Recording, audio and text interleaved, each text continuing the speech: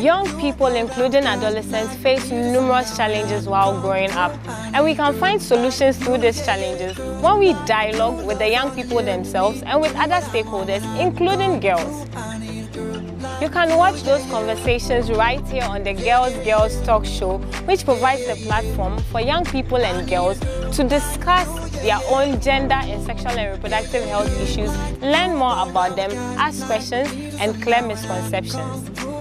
Make a date with me, your host, Edith Esnam Asamani, with the panelists and the audience, and be sure to engage with us. This program is supported by the Ministry of Gender, Children and Social Protection, UNFPA, and UNICEF.